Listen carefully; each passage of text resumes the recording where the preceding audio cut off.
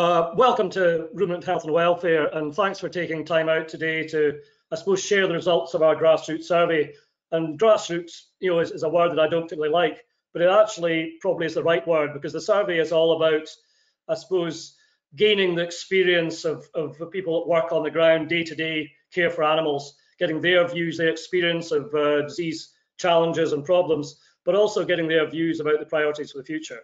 So it's a, a really important milestone for us. I think before um, moving on to you know the the uh, background of the survey and our agenda today, it's uh, I was reminded by Caroline before we started that you know maybe you quite a few of you aren't aware of ruminant health and welfare, and just in a few words, I'll try and give you a, a bit of a snapshot of what we are.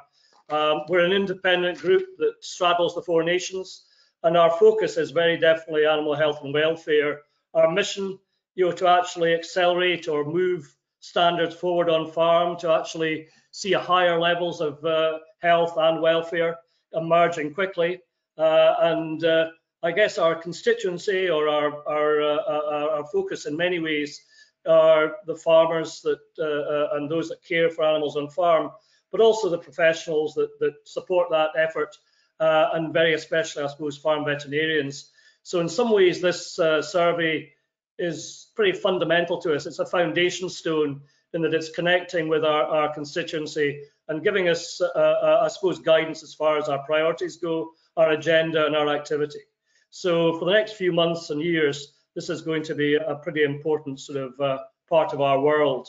Uh, I think, uh, uh, you know, before we, you know, go too much further, it's I, I, talk about this very much being in a ruminant health and welfare initiative, but we wouldn't be here today without the support of AHDB.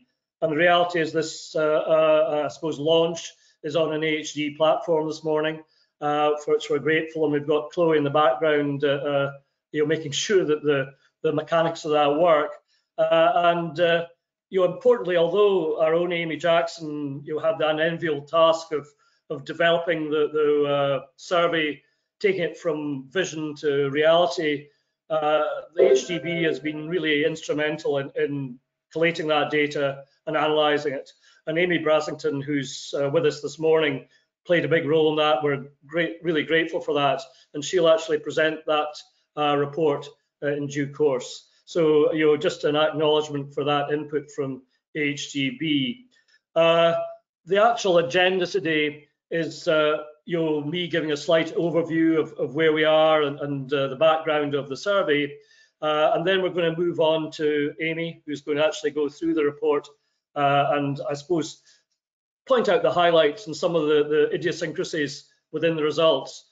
Uh, and uh, we'll go then for immediate reaction to uh, two of our steering group members, Phil Stocker and who's, I suppose, in many ways the face of the sheep industry, CEO of NSA, uh, and Colin Mason, who is a board member of uh, the British Cattle Veterinary Association and has really in-depth knowledge, not just of cattle disease on farm, but in epidemiological and pathological uh, terms as well, being part of the SAC veterinary services team. So we've got some really quite interesting comment. From that, we'll, we'll actually move on to just a few words about next steps, and then we'll have an open session which hopefully allow you to, to make your comments and, and uh, you know, ask questions both to uh, our panelists, I suppose Phil and Colin, but also to myself. Uh, and uh, we hope, well, I'm sure we'll fill the hour uh, uh, and uh, I hope leave you with a, a, a really good view of, of, where we've got to and, and, as I say, an important milestone for this organization. the organization itself is small. it really, I suppose, consists of Caroline Slay, our Secretary General, Amy Jackson, who looks after our communication, has been instrumental in bringing the survey to life, and Gwyn and myself. So you're quite a small team. So, so that, that's the background, and then maybe it's a, worth just having a, a brief look at the background to the survey. There's two sections to it. The first section, you know, focusing on disease, which I guess is the headline, uh, and, and, I suppose mirrors you know, what other organisations have done. Uh, and the diseases we've used have been really, I suppose, borrowed to a degree from uh, climate change reports. The ADAS report on climate change disease, you know, commissioned by DEFRA, uh, and a similar report in Scotland uh, commissioned by the Scottish Government, which looks not just at cattle, but at sh uh, sheep as well. Uh, and that group was chaired by uh, Philip Skuce. So th that was that was the core of the disease group that we are using. we've added one or two other gaps, diseases which we thought were gaps.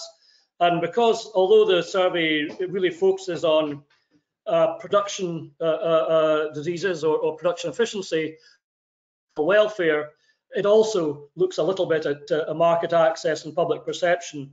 So there are two or three diseases added in for public health reasons or public perception reasons. Uh, and there's two, I suppose, curveballs, two which definitely aren't high prevalence diseases. And they're really, I suppose, to test the temperature about what the community thinks about Campylobacter, which can have such a severe effects in just a few herds every year in, in reproductive performance, and also probably an import risk, uh, uh, the scab mite, Psoroptes in cattle. So uh, you're quite a spectrum of choices and quite a complex survey. Uh, and uh, I think that, that was very much uh, Amy's challenge. The second section is about syndromes. And the syndromes that we've actually defined are, are I suppose, a little bit unconventional, a little bit messy, but they're designed to actually encapsulate periods in the production cycle. Uh, and by doing so, we think that if you look at you know statutory data on farm or some of the normal farm management data like PD or scanning results or sale weights or sale dates, uh, we can actually screen through those and whether you be a vet or a farmer, you can actually start to identify the strengths and weaknesses of the system. And in doing so, you can actually start identifying if there is a syndrome there which is actually eroding performance or causing uh, welfare problems. And it's a route into, to, I suppose, active health planning. And, and, and that's the real attraction for it. And the other attraction is that if we look at diseases, even diseases like BVD, which were you know originally acquired, you know maybe if you actually tackled them in the national herd, you might actually improve efficiency by two or three percent. Uh, um, if we look at syndromes, actually have a far bigger percentage gain. You know, you know maybe six or seven percent or more in, in some herds, so flocks. So this is maybe quite a big bang for your market but it's a, a simple way into actually getting your significant gains.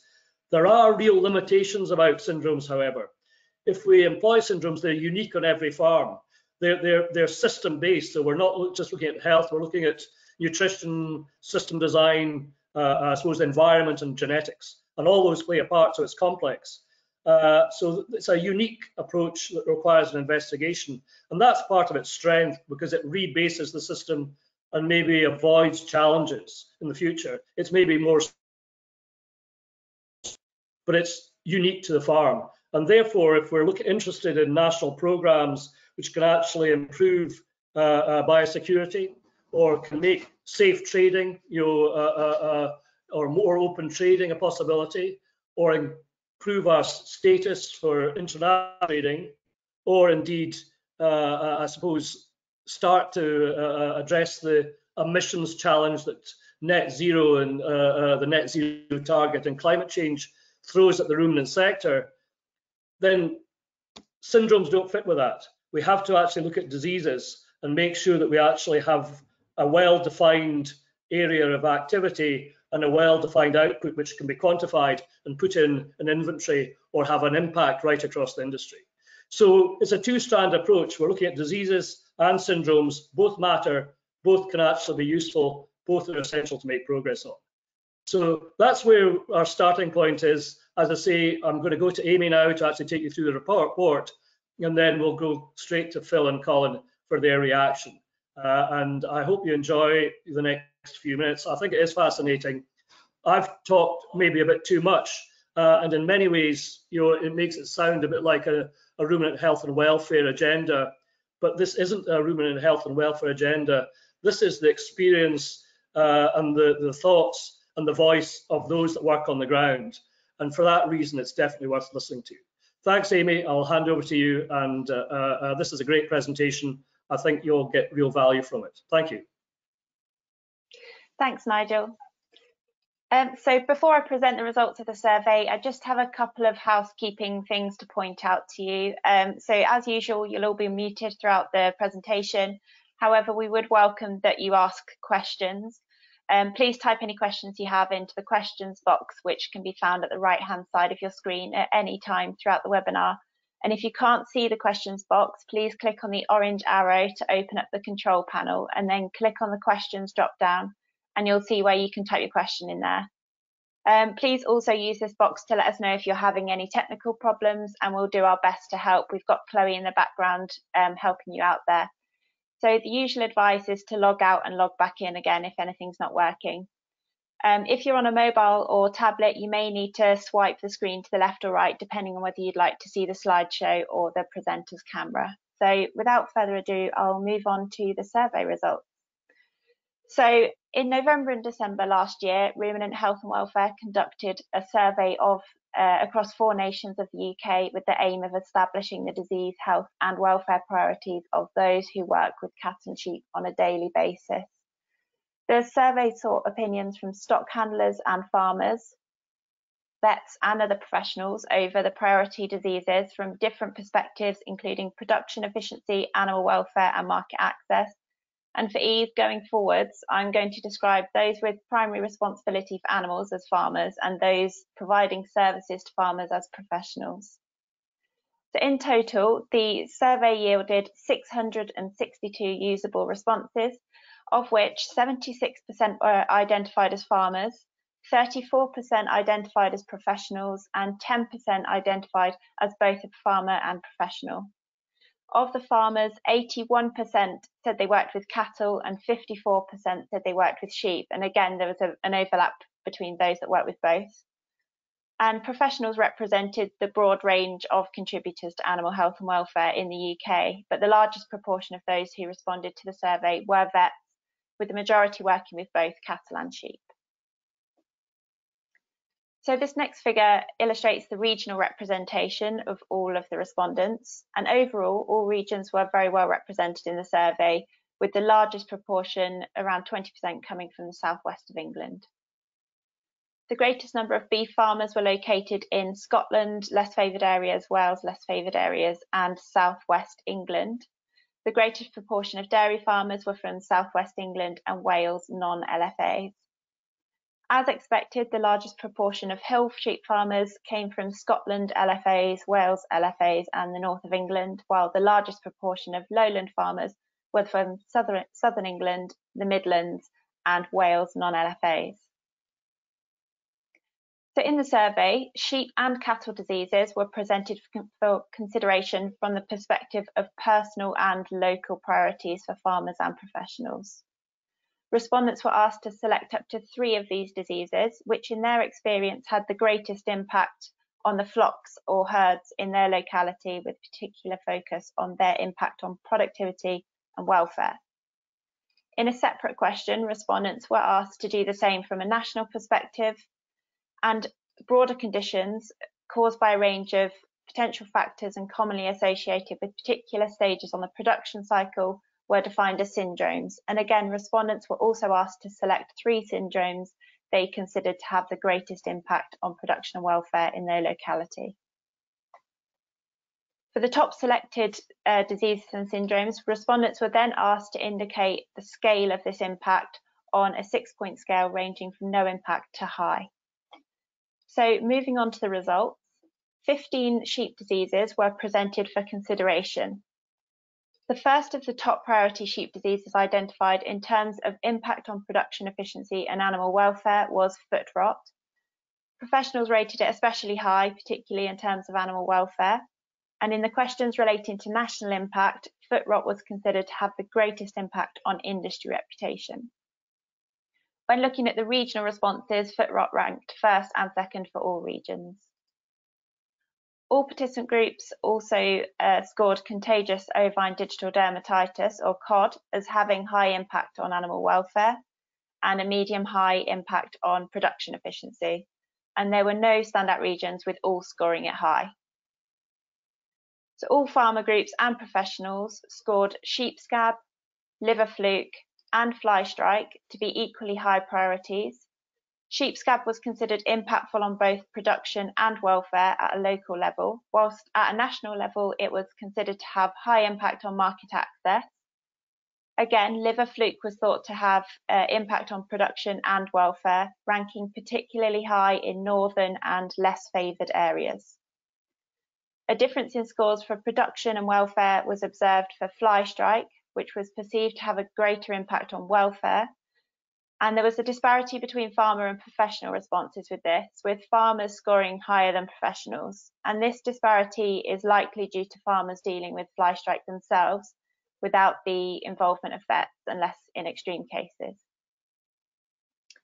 So conversely to this, uh, professionals considered parasitic gastroenteritis higher than farmers, and at a national level, PGE was seen to be more impactful on production efficiency than on market access or industry reputation. So with regards to the other diseases presented in the survey, I just wanted to highlight a few observations. So the next three priorities after those I've just talked about were enzootic abortion, toxoplasmosis and Pasteurella. MV was not selected by any hill or upland farmers. However, the lowland farmers who selected MV as a priority scored it high impact, particularly at a national level. And most lowland farmers who selected MV were breeding stock producers, and it's possible that their requirement for MV accreditation may have influenced their responses.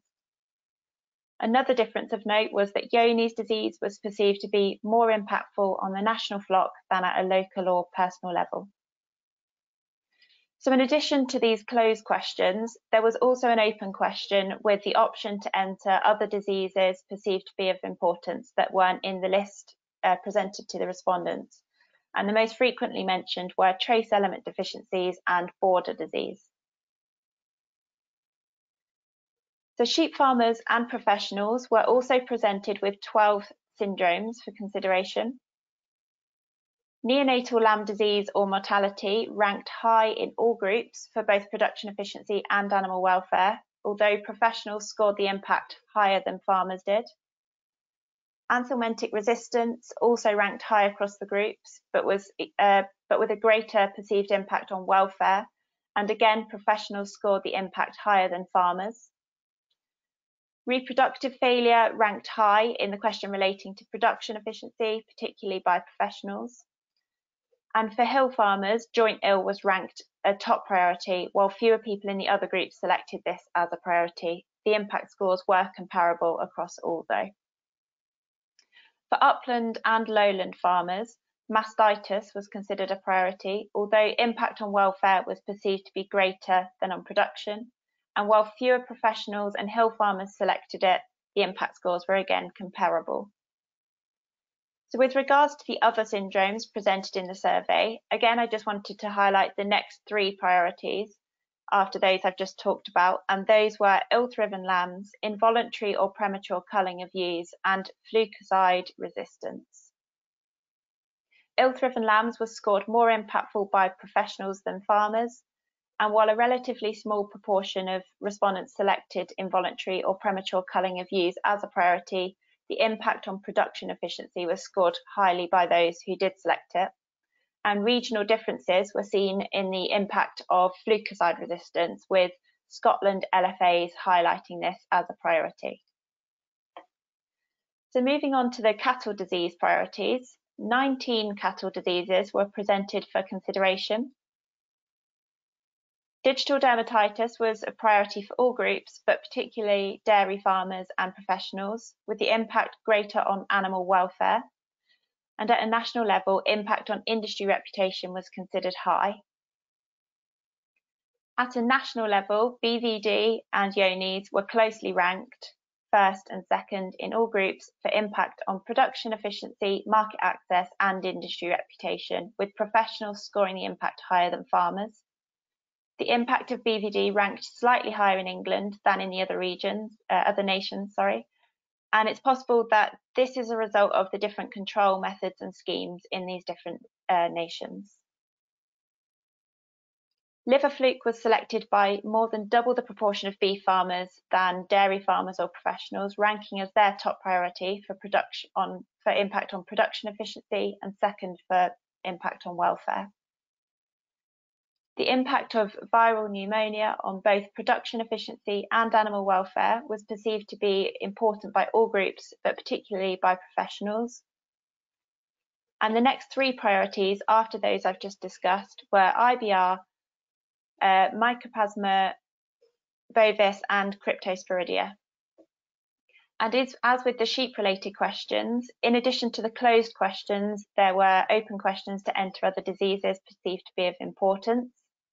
The most frequently mentioned was TB, which obviously has a huge impact on some cattle farms and should without doubt be taken into account in strategy development, but purposefully was excluded from the list of diseases in this survey so as not to detract from identifying other priorities. Um, the others that were identified were trace element deficiencies and dystocia were also frequently mentioned. So moving on to cattle syndromes, 11 cattle syndromes were presented for consideration. Lameness was considered top priority for dairy farmers and professionals with particularly high impact on animal welfare by dairy farmers and beef farmers ranked lameness second with slightly lower impact score. Reproductive failure was ranked second highest for its impact on production efficiency, although impact on animal welfare was a little lower. For all groups, national, uh, neonatal and calf disease was considered to have medium to high impact on animal welfare and was ranked second in this. And professionals scored this particularly high. Acute mastitis was considered a high priority for both dairy farmers and professionals, with particularly high impact on animal welfare. The same group scored subclinical mastitis as medium high impact on production efficiency. Professionals scored bovine respiratory disease as highly impactful on both production efficiency and on animal welfare, and a much larger proportion of beef farmers than dairy farmers selected this as a priority syndrome. So the next three priorities after those I've just discussed, or the next two, were metabolic disease and involuntary or forced culling of breeding stock. And whilst antibiotic resistance didn't rank particularly high, the disparity between professionals and farmers was notable, with professionals who identified it selecting it as a, a high impact on animal welfare, um, whereas farmers who, who selected it scored it just medium to low impact. So just to summarise, the health and welfare priorities of those who work on the ground with cattle and sheep on a daily basis have been identified by this Ruminant Health and Welfare Survey. The exact priority order of these varied slightly, with some diseases clearly perceived to have a greater impact on animal welfare than on production. There are also differences when respondents were asked to think from a personal perspective versus a national perspective, and it was clear that farmers and vets have some different opinions on priorities and impacts, with professionals generally scoring higher. These differences of opinion may result from farmers visit, um, visiting from vets visiting numerous farms, so may have a broader range of experience than farmers who may only be able to assess the impact of disease on their own farm. However, it's also possible the vets are only called out to issues that can't be dealt with by the farmer directly uh, which could also influence what's seen as the biggest issue by them. So I think it's really important that we recognise and try to understand these differences. Further detail and discussion on these results can be found in the full report, which will be made available on Ruminant Health and Welfare's website immediately after this webinar. So I'd like to now hand back to Phil, that he's going to discuss his observations on the sheep results. Thanks very much. Thank you, Amy, uh, and good morning, everyone. And um, Amy, thank you very much for that presentation and all the number crunching that you've done and the analysis to, to pull together this um, this report. Um, in my mind, this um, work is a really useful contribution uh, to a lot of ongoing development work on sheep health and welfare. Um, and whichever way you look at it, whether it's from a productivity perspective, um, our environmental footprint, our reputation, and even the satisfaction of, uh, of farmers doing the work. You know, better uh, sheep health and welfare is a win-win situation. Um, so thank you very much for asking me to give a few observations and perspectives on on on, on these findings. Um, some of what I'm going to say now is uh, already covered within the the summary of the report, and I'll start by saying that um, as with any of this type of work, um, ground truthing is uh, is essential, is crucial. And I guess that's partly what we're doing today is to is to go through um, some of these findings and start to have a discussion with uh, as wide an audience as we possibly can to make sure that we got that ground truthing work really done. Um, Nigel mentioned uh, he talked quite extensively really about syndromes and diseases, and I think we need to uh, think really hard about syndromes and diseases. Uh, for example, within the report, uh, neonatal Lyme diseases came out as a top syndrome, and yet none of the neonatal diseases were listed in the top six diseases, which is interesting. Um, it is interesting to think to what extent neonatal diseases um, are, are, are, identified at all, and possibly many of them relate to, um, to nutrition and colostrum availability and quality as well.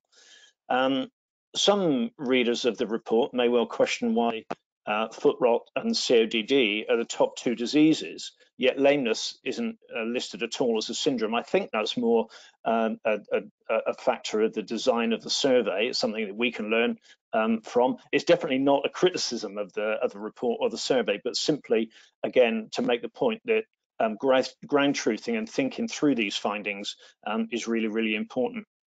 Um, similarly, I think you would expect that both categories of respondents, um, uh, farmers and professionals, I don't like the use of that term because I think there's an awful lot of professional farmers out there as well, but I think we all know what we mean by that. But you'd expect both categories of respondents to report what they see um, on the farm or what they see reported back to them through um, uh, VICs and, and, and, the like. Um, and most of us would accept there is a lot of subclinical disease that affects productivity and welfare uh, that doesn't get recognized. An example of the, this would be the iceberg diseases, um, MV, CLA, Johne's, all of which are mentioned within the report, um, that often hold back optimal performance. Uh, they affect uh, ewe and lamb long, uh, ram longevity. Uh, they affect cull values, as well as prolificity and milk yield and another num number of other factors as well.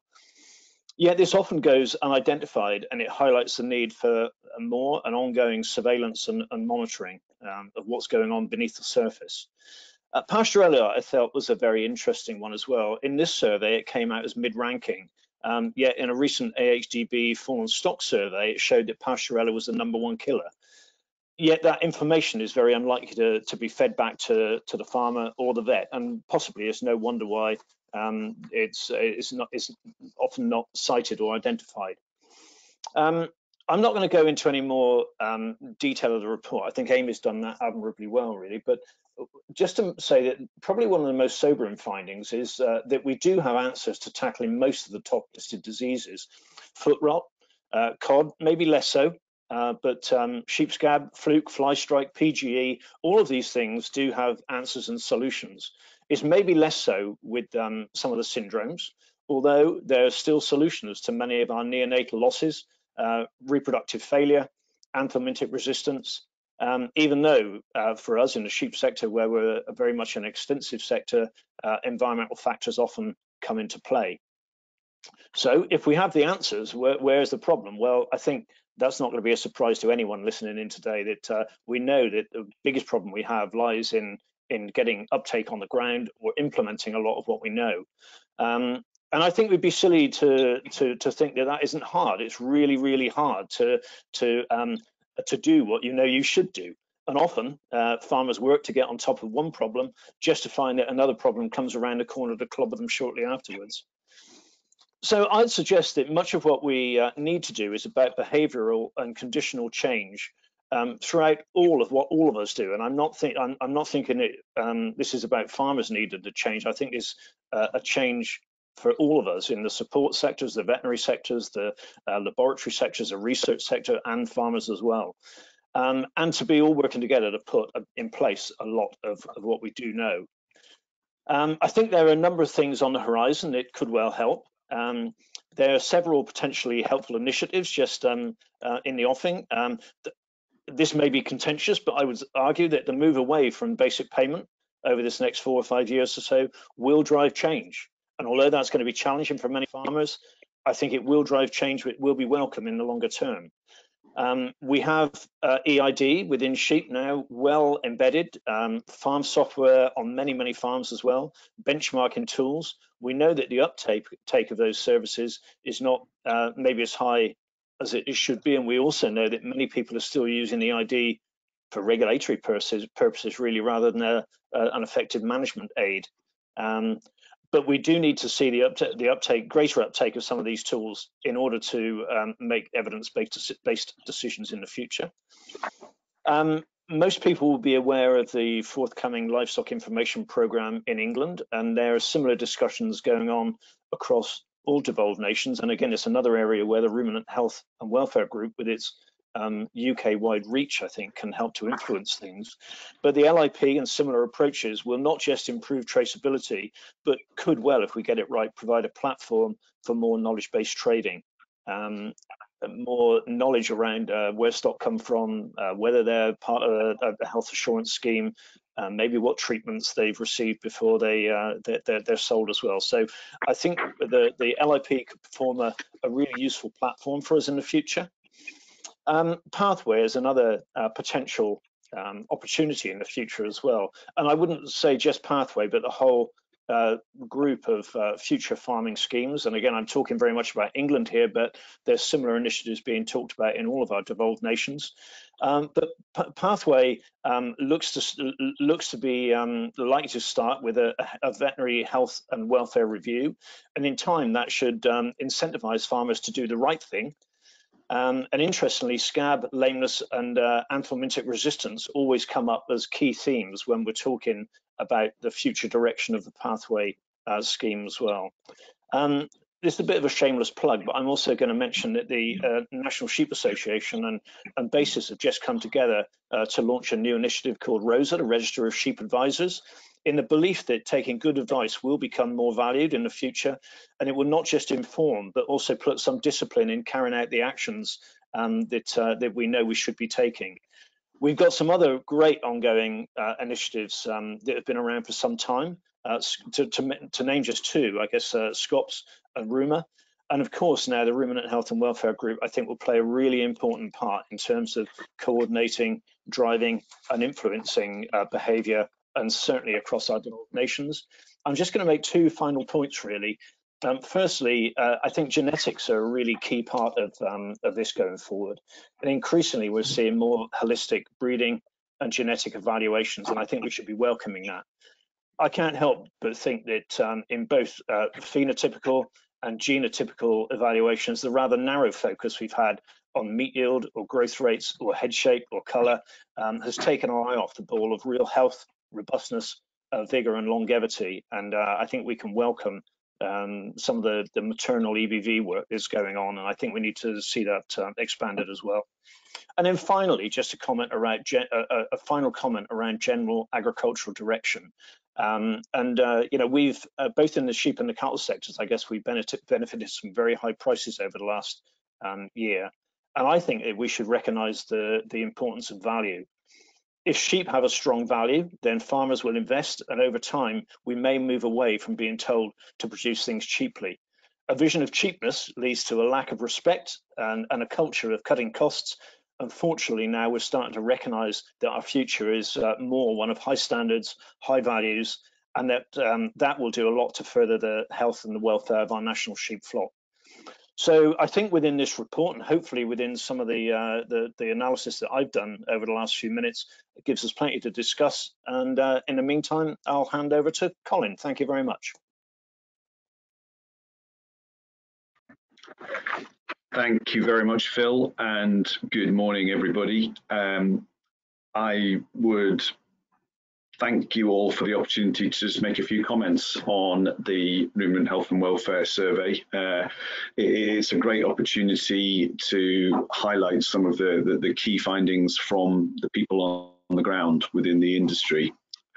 Um, getting the perspective of both farmers, vets, and other people working on the ground is is really really important. Uh, it's been really interesting to see how those findings vary slightly between the different groups of people that are involved on farm. Uh, but actually, probably for the cattle sector, they're reasonably well aligned, uh, and and we welcome that in that you know the people working with farmers as well as the people doing the farming, the the, the thinking is reasonably well aligned. Um, our feeling uh, is for cattle the disease syndromes are of real, real importance, um, uh, and it is uh, good to see that these syndromes have been included in the survey uh, and uh, it really emphasizes the holistic approach to health manning, uh, management that occurs on farms. Uh, so that we're not you know specifically looking at specific diseases and specific magic bullets. We're looking at the whole picture of how animals are are managed the way that they're kept, the way that they're reared, and the influence that, that has on disease. So we really welcome the, the fact that we've got disease syndromes in there, uh, but would also highlight as well with this that um, there's pretty good alignment in the cattle findings between some of the individual diseases and the, the syndromes that they form part of one of the, the, best examples would be the, the, the findings that, that lameness comes out top as a syndrome and, and digital dermatitis comes out top as a, an individual disease.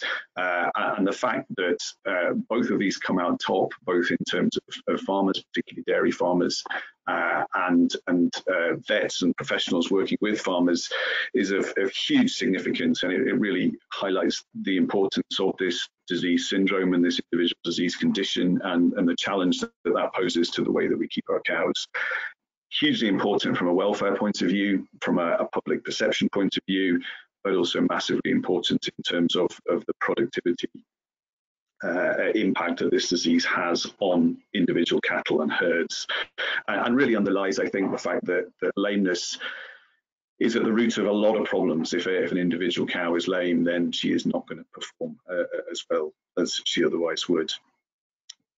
Another example um, would be uh, the linking together of viral pneumonia as individual disease conditions and, and the syndromes of young stock health, neonatal calf disease, and bovine respiratory disease. And, and, obviously, as we all know, whether we're working in, in beef systems, beef finisher systems, or dairy systems, these are all inextricably linked and uh, I think highlights some uh, real challenges that we all know exist uh, in, in minimizing the impact of respiratory disease and some real opportunities as well in, in how we look at how these uh, different um, farming types and these different sectors evolve. Uh, I'm thinking particularly about how we're um, uh, rearing and managing more beef from the dairy herd, and also how we manage store calves sold from the suckler herd in terms of how best to limit and minimize the impact of respiratory disease on these production systems, how we not only look at the individual diseases that form part of it, but, but look at how we manage these um, uh, production systems to minimize the impact. Focusing a little bit more on, on individual disease, it's probably no surprise, but but reassuring and, and good to see how importantly BVD Johne's disease and liver fluke feature in the individual disease surveys. And again, probably no surprise that liver fluke is highlighted of particular importance for uh, beef and beef suckler systems. Uh, um, we hope that these survey findings in relation to, to BVD um, can act as a, a, further piece of evidence and a further drive to demonstrate the need for a, you know, a statutory national control program for BVD eradication in England uh, to match what's going on in the other devolved nations. And, and, we hope that one of the findings that comes out of this grassroots survey is, is the impetus to, to kickstart uh, further disease control initiatives for BVD uh, across all of the UK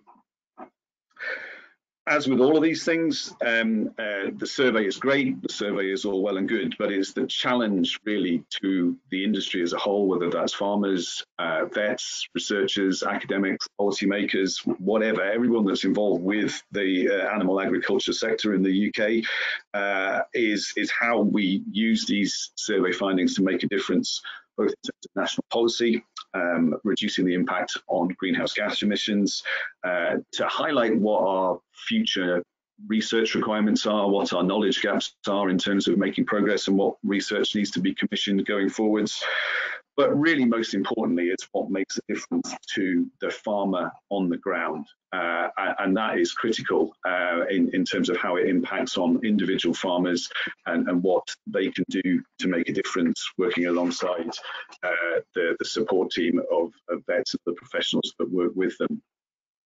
Phil's already highlighted this, but there is that well-known thinking that if we used and implemented all of the knowledge that we currently have on all of the disease conditions that we have in the UK. And if we could implement all of that knowledge and all of those control strategies, all of that information on every farm, we would make a massive difference to how we control disease in the UK and also, you know, how we manage the production impacts of that disease. Um, and really that is the, the nub of this. It is, is trying to get uh, as much of this done in a practical sense that works for farmers on the ground. And, and we would see that, that farmers working together uh, as part of a, a, team on farm is, is the way to do this uh, with other professionals involved as well. And it's a real opportunity uh, through sort of a holistic health planning approach to do this. Um, and it all comes down to what, happens at the, the individual farm level and with that team involved on that individual farm. The, the future UK initiatives that will come from government in terms of the animal health pathway and also other similar initiatives that will come forward in the devolved nations will probably help oil the wheels of that process, but there's a lot that can be done and is being done with individual farmers and individual teams on the ground. There are many national initiatives already in place that can help with a lot of the disease conditions and disease syndromes that have been highlighted in the survey. Um, uh, so a, a, lot of the, the, the, the knowledge and the schemes are available to help with these things. Um, and examples of this uh, would include um, the BVD Free England initiative and, and similar initiatives throughout the UK, um, the National Johne's Management Programme, um, AHDB's Healthy Feet Programme, uh, Mastitis Control Plan and QuarterPRO initiatives to help with mastitis. Um, and the CHeCS programs, and in particular the, the, the, the up and coming CHeCS BTB programs as well.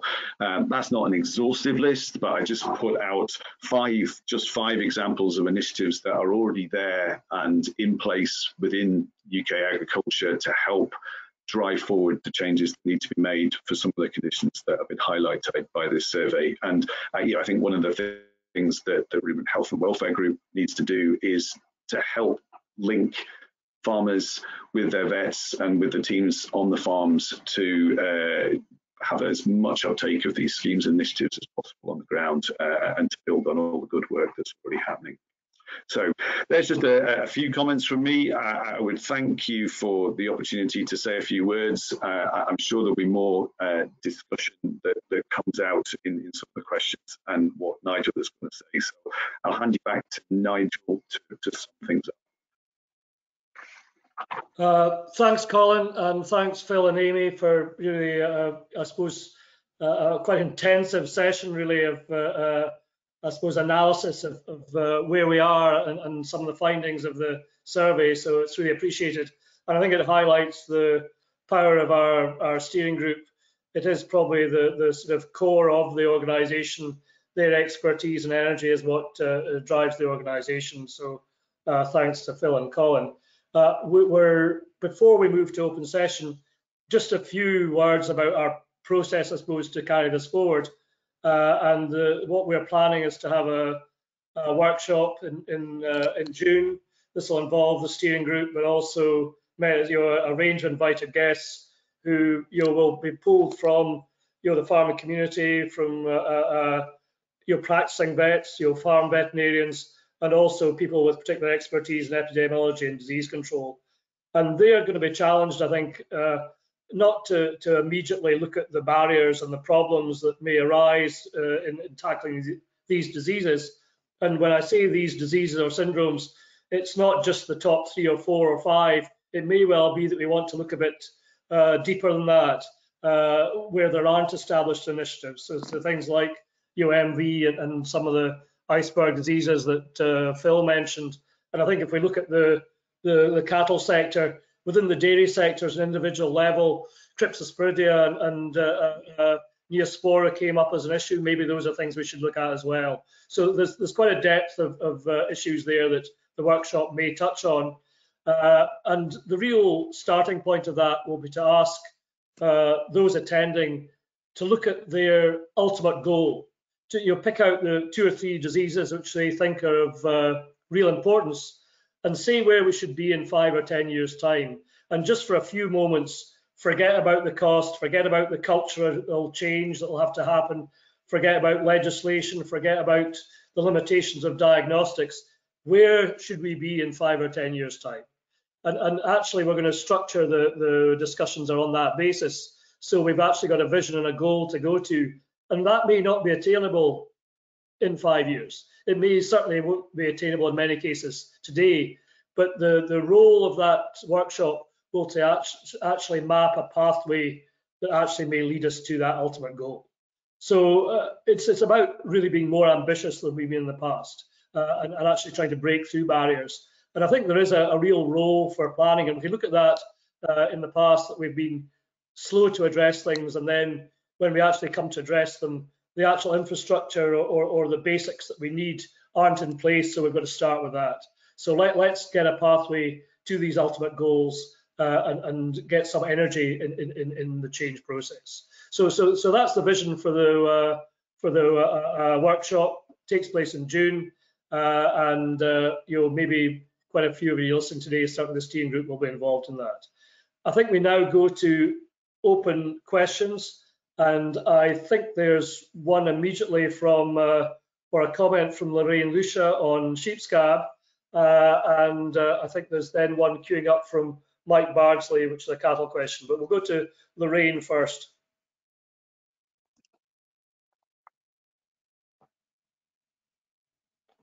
I'm not getting Lorraine, but Lorraine's question is really about uh, uh, the challenges of sheep scab on, on hill areas and, and complete gathering, the, the, requirement for complete gathering, which obviously gets even more problematic with open marches.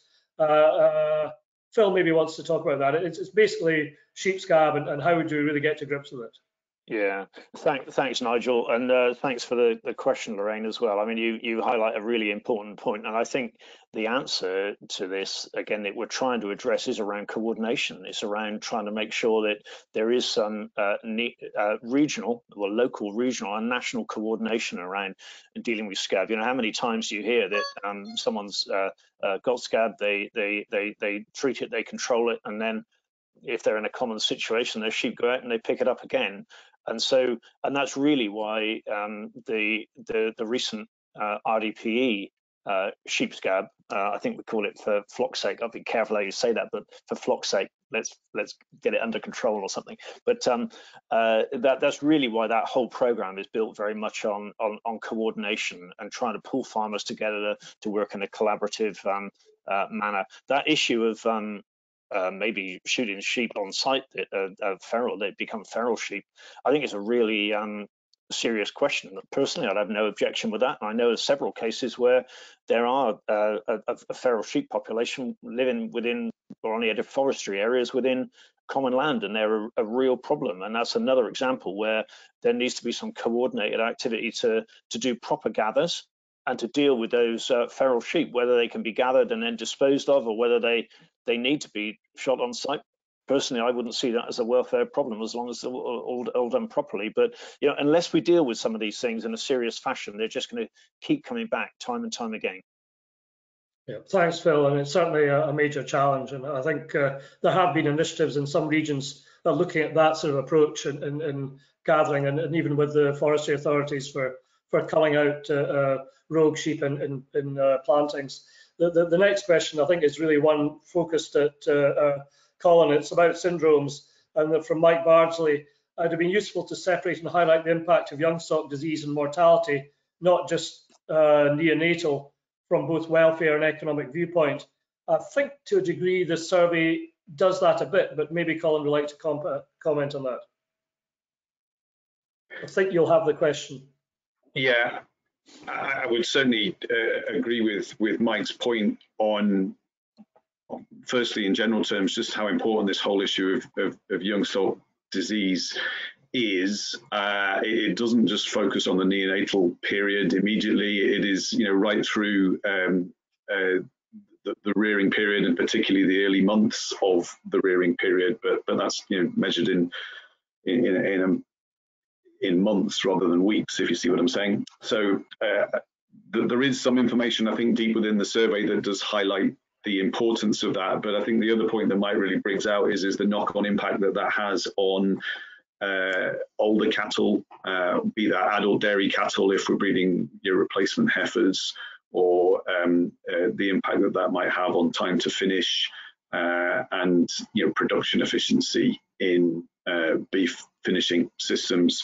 Um, so I would absolutely agree that the whole area is of, of, of, huge importance in terms of driving efficient animal production uh, and um, you know, minimizing the knock-on impacts that that will have and does have on on older cattle as well as younger cattle. So I think that probably is something that we can develop and bring out further, uh, whether that's through Ruminant Health and Welfare Group or you know as a wider industry, because it is a, it's an issue that we all recognise. Thanks. Uh, another question from Jonathan King, and this is really focused on AMR and, and resistance. And I think he has real concerns that uh, uh, you know that didn't figure more highly in the survey, uh, uh, uh, and that the concerns weren't really expressed. And he's asking, is this because it's an, not an issue because we're already addressing it, or is it just that awareness is very low or understanding is low? And I, you know, I think that probably, you know, maybe Colin would like to start, but I think Phil's views would be of value as well. Thanks. I think AMR is is an interesting one as far as this survey is concerned, um, and it, it, certainly does come out in the survey. Um, and I, I, would highlight two things really from from the cattle side of things. Uh, um, it's probably a bigger picture thing for a lot of uh, uh, you know of the wider industry in general. Uh, in that you know we're we're trying to manage our medicines responsibly uh, as part of uh, good practice, responsible farming, and the bigger picture issues, the bigger societal issues on on how we uh, you know limit the, the development of anthelmintic resistance and and how that goes forward. Um, but I would also highlight that you know, in the last five years, there have been been huge changes that have been made in uh, how antibiotics are prescribed and how antibiotics are used on farm um, uh, in, in all sectors. Um, and uh, you know, farmers have embraced that really, really well. Uh, you know, we talk about behavioural change, and uh, you know, this has been in a real area where there has been a lot of behavioural change already. That's not to say that there's more work to do, but there has a lot that has been achieved in terms of how how medicines are, are used and prescribed on farm now, and and more work to be done. So, I, I think it is a wider issue that we all have to buy into as an industry. I'll maybe let Phil comment a little bit more on, on the anthelmintic resistance uh, issues as they, well, they do, they do, relate to cattle as well, but, but particularly how they relate to sheep. Mm.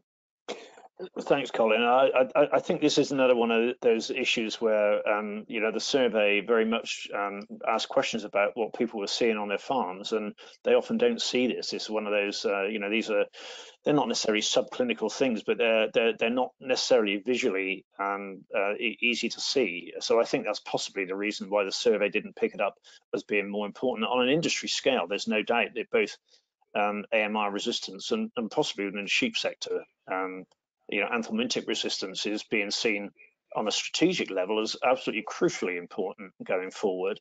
Um, but I, I, guess on a farm level, people often don't identify that or see that. And I think, you know, SCOPS I know has got a, a really useful initiative plan to to, uh, to, to to work on going forward to try to uh, get more of a handle on the level of anthelmintic re resistance that we've got and uh, and to try to tackle it. It's one of those issues, isn't it, where really anthelmintic resistance to either the group one, two, and sometimes all three um, wormer groups at the moment. We're starting to see resistance to all three on some farms, and we see them in small numbers. And again, on an industry scale, we talked about them quite a lot, but individual farmers don't necessarily get to to experience that problem or to see it. So and I think it, it, it's another issue where communication and more co coordination and and these are words that it's really difficult to get uptake on the farm, but strategic action, coordinating action, collaboration, we all know that's where our future is going to be. And it is again about um,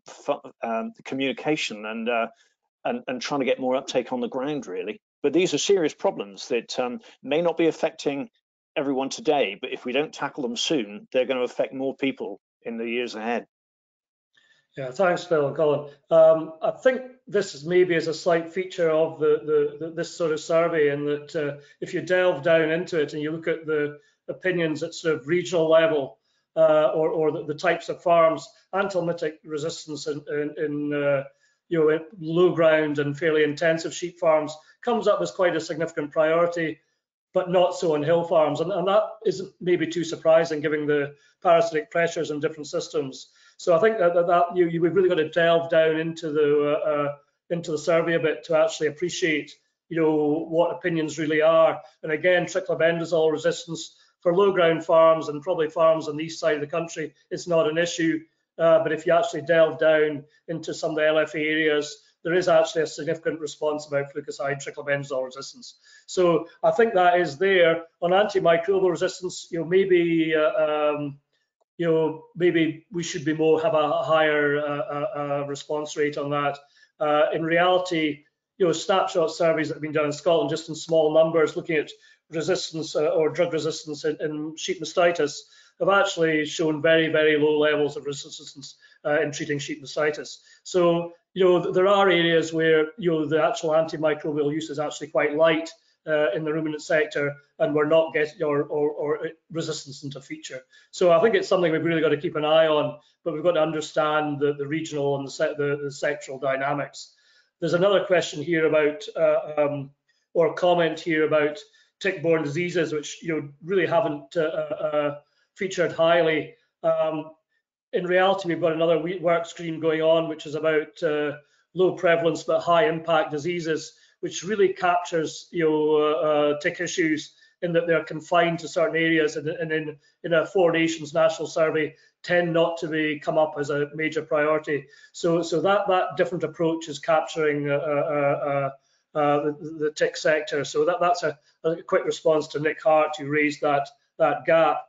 And from the Scottish farmer, we've got uh, Patsy asking about OPA or Jaagsiekte. and I think again delving down into the survey, uh, your OPA is there, Jaagsiekte, and certainly you're speaking to uh, farmers uh, uh, or listening to farmers. It is a real issue in some regions, uh, without a doubt, and, and uh, as is MV. And again, if you dig into the survey, there's slight differences at different regional levels. it's there about number 10. And, and you know, if, if we actually look at number 10, that is actually quite a high score for an iceberg disease. And I think that you know when you go down below the top five, we have several diseases like that clustering around, which I suppose there's a bit of a warning there. They're there. If we don't do something about them, uh, if we don't aren't proactive, they're going to creep up the uh, up the scale, or they may do.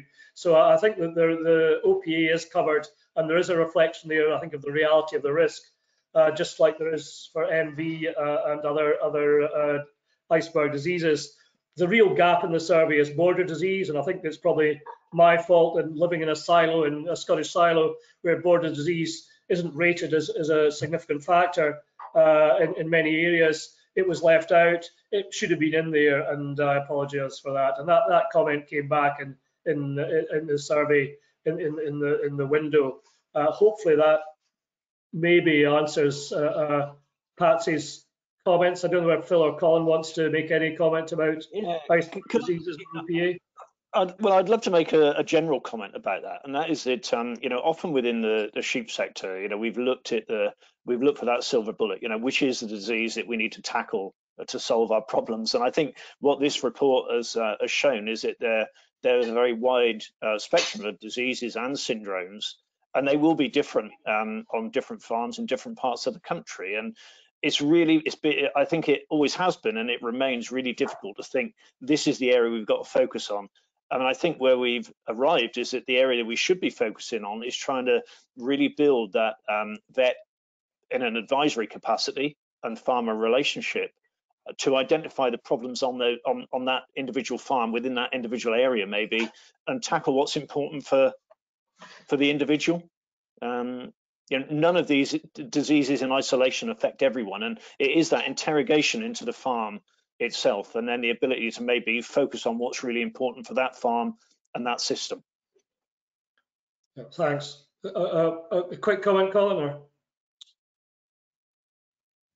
I think perhaps one of the differences, and I, I would agree with what Phil says on the on the sheep side, in that you know a particular disease or disease syndrome might be very impactful on one farm and and you know far less so 10 miles down the road. Um, uh, if I could make a comparison to some of the the things that have scored really highly in the cattle side of this and and I accept also that that there are individual diseases that will affect individual herds but you know for example lameness mastitis fertility um, are you know challenges for from all farms in in in quite significant ways very often. So uh, you know the, the, it's much more universal some of the big priorities that have come out of this i think are much more more universal and, and can make a difference on quite a, a, a bigger proportion of farms yeah thanks.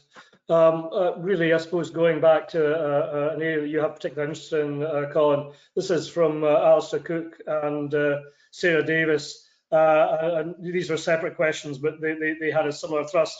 And it was really, I suppose, concerns about slow progress on lameness uh, uh, uh and wondering whether retailers had a role in actually rewarding, uh, you know, uh, herd managers or, or I suppose, suppliers who actually make progress on lameness with, with, with premiums. Is, is, is that, that going to be a, a useful driver? I'll give that to Colin. Absolutely, and and and yes, it already is a, a driver for for farmers. Um, uh, I'm just reading the, the, the the comments and the questions in the text on this, and uh, I mean, yes, we have to accept, and, and this survey reinforces this, that, that lameness is still an issue, uh, a significant issue on dairy farms, uh, and you know we're being open and honest about that. It's good that that's recognised by by farmers and vets, and you know that's that's a good starting point to do something about it.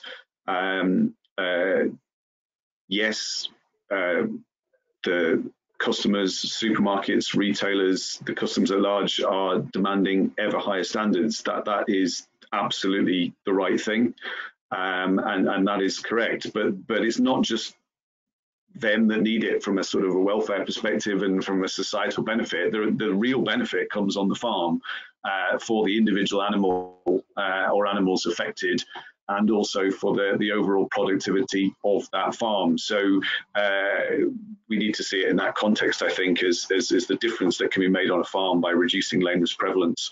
Um, there are lots of things going on. We accept, I think, that there is a lot of work to do, uh, but you know there are lots of things going on. If we think about the register of mobility scorers, that is is now giving us a more uniform way of assessing the levels of lameness on our farms so that we can actually, you know, now not only work out what the starting point is on farms, but assess progress, which is you know something that we've not been able to do in a standardized way until recent years uh, on a wide uptake scale, and, and, certainly the supermarket contracts and the, the milk contracts have helped with that.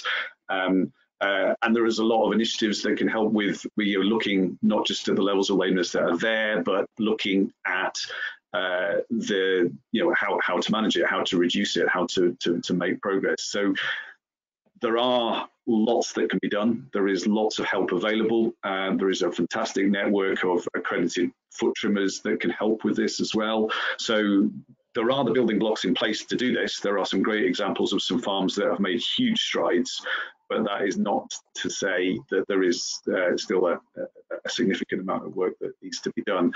As to you know how retailers pay for this and, and, and everything else is probably the, the beyond the scope of what I should be qualified to talk about. But uh, I think we need to view this as well. What are the genuine benefits for your own herd, for your own cows, and and and, and it will deliver wins, no question. Thanks. Uh, we're running over time, but uh, that's the story of my life. So we're, we're going to actually look at uh, uh, you know two more questions, and then I think we probably should close. The first one of those is from Gavin Watkins, and it really comes in two parts. One one's a comment really emphasising the importance of surveillance systems and, and the you know the, the role that livestock keepers have in, in actually and vets, I suppose, in engaging and contributing to those. And uh, I guess also a plea that, that maybe your food chain information uh, from uh, abattoirs can be you know better transmitted back to to uh, uh, to producers. So so so that that's one area which is which very much a comment. But he has a, a really interesting question. and he's wondering if it's useful to determine the, or distinguish between those diseases that can and should be dealt with at farm level and those that require wider coordination and effort. Uh, so uh, I think he, he, he, comments about some of the things that are happening in Wales, but I think the core of that, uh, should we actually be dividing up diseases in those that should be tackled at a farm level and those that require a, a regional or a national approach? Uh, I'll give Collins a quick rest and go to Phil, and no doubt he'll give you a good five minute rest, okay?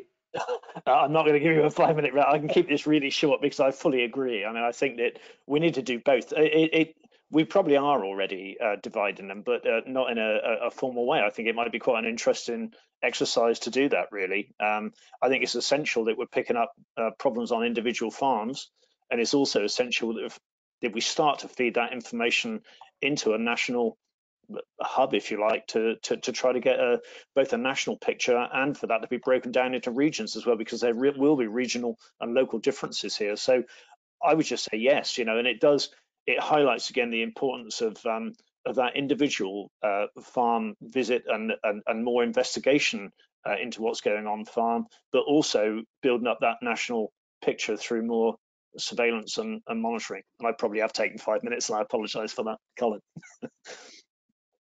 uh, well, yeah, three comments really. Um, all you know everything needs to be tackled at the farm level. That's the first thing. Um, and you know the, every farm will be will have its own unique set of circumstances. So local knowledge uh, and, uh, and, and the vet farmer partnership is absolutely crucial there. I think hopefully I would see a role for the Ruminant Health and Welfare Group, and this survey kickstarts it as to open up discussions about what else needs to be sorted out at a national level. You know, whether it's sheep scab, whether it's BVD, whether it's other areas uh, where there could be more national uh, initiatives and incentives to do things. And I think really that's you know the conversations that need to be had at the workshop later on in June, um, and you know hopefully then that can feed right the way up to uh, you know industry bodies and policymakers to actually enact that.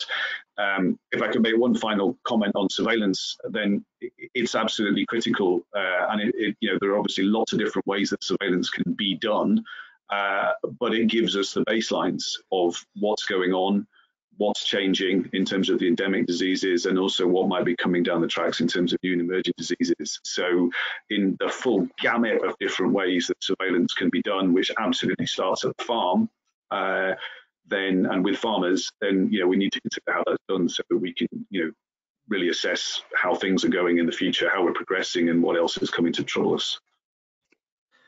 Thanks. Uh, one final question, and apologies if I mispronounced the name. Yan Li Ju, um, his question or her question is uh, about the DEFRA pathway. Uh, and uh, do you believe that uh, uh, the DEFRA pathway will play a big role in driving change? And that's the final question. Phil, I'll let you start, and then we'll go to Colin, and then I'm afraid we're out of time. We'll close. Yeah, well, just very quickly, I, I think it, it, in England, I think that's as far as the pathway program extends to. But hopefully, again, uh, we'll see similar initiatives elsewhere. But I think um, the pathway program could um, engender a real change. But I wouldn't just look at pathway in isolation. I think that we've got to look at the whole suite of future farming schemes because um, improved health and welfare will have a, an impact on on productivity, on our environmental footprint, um, on our landscapes um, and, and, on the, the, the, health and welfare of animals. It has a huge impact on our reputation and building trade. So somehow we've got to try to integrate uh, health and welfare across all the different interest areas uh, within uh, the, the, policy world. And I do think Pathway has the potential over time to um, to really influence things. Colin? I think potential is the key word, really. I think the animal health pathway for England has the potential to drive change, no question. Uh, and you know we're in a different era in terms of support for farming and how that's delivered. So it has a lot of potential. I think you know it's due to start next year and will start small, no doubt, and grow. And that's the nature of these things. And it's going to be down to the industry to help influence how that grows. So there is potential. And the only other thing I would say is, you know, it, it's not just uh, the English side of things, it's how this develops in the devolved nations as well. Um, and, and what uh, schemes, pathways, models that are developed in, in, in other parts of the country to help drive change and, and, and, support these initiatives. So it's, it's an interesting time, it's a great opportunity, and it has a lot of potential, and we just need to, as an industry, make sure that we can realise that. Thanks. Amy, would you like to, to, to make any sort of observations or comments on, on uh, the dialogue or, or, or, or the feedback we've had from the survey? That's a, a bit of an unfair question, sorry. No, that's okay. Um, just to say that the report is available on the Ruminant Health and Welfare website now after this webinar, um, and there's a lot more discussion in there and a lot more detail around um, the exact uh, scores that were given by the professionals and farmers. So if you want to go and take a look, that's available now on the Ruminant Health and Welfare website. Uh, thanks, Amy. Uh, any you thing we've missed, Phil or Colin, or, or do you think we've we've uh, with Amy's comments we've actually done it all? I think we could keep this going for another hour, but we probably yeah. didn't want to. But no, I don't think I've got anything else to add just at this I think, stage. I think we've done it all. So we'll, we'll, yeah. we'll close with that. Many thanks to, to Amy, especially for all the work and for your fantastic presentation, to Colin and Phil for their observations and comments, which have actually fueled the debate, and, and for all of you for joining us and for your questions, which I think have really you highlighted some really important areas. Uh, as Amy said, th this slide shows our, our uh, uh, web address. You can uh, go there to get an immediate uh, uh, copy of the report. In the next 24 hours, if you register, both the report and the, the press release will be available to you by email. And by Monday, we're hoping to have a Q&A on the RHW website, website which will kind of reflect the questions that were asked today, uh, but also may, may try and fill some of the gaps that we, we think we may have left.